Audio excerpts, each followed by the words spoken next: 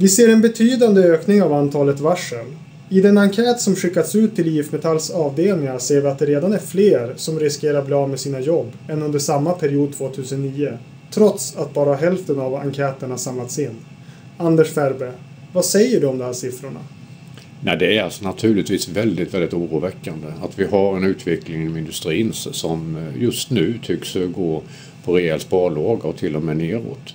Och det är naturligtvis väldigt oroligt för många av våra medlemmar som nu kanske varslas eller som riskerar att varslas men därmed också riskerar att bli arbetslösa.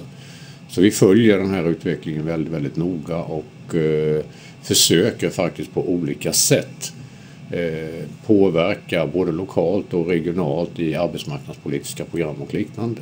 Men det är väldigt oroligt eh, att det skakar som det gör inom industrin. Hur agerar IF Metall?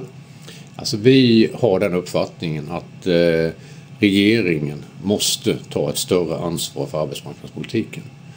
Vi tycker att det är eh, väldigt anmärkningsvärt att eh, regeringen inte tar snabba initiativ nu för att minska riskerna för stora uppsägningar.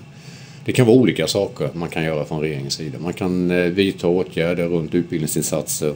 Man kan vidta åtgärder för att stödja eh, små och medelstora företag. Och dessutom så har vi den bestämda uppfattningen att de människor som riskerar att drabbas av arbetslöshet, de måste kunna få en a-kassa som det går att leva på. Och den andra stora frågan som regeringen har på sitt bord, att människor ska inte drabbas när det kommer lågkonjunkturer med varsel och neddragningar som följd.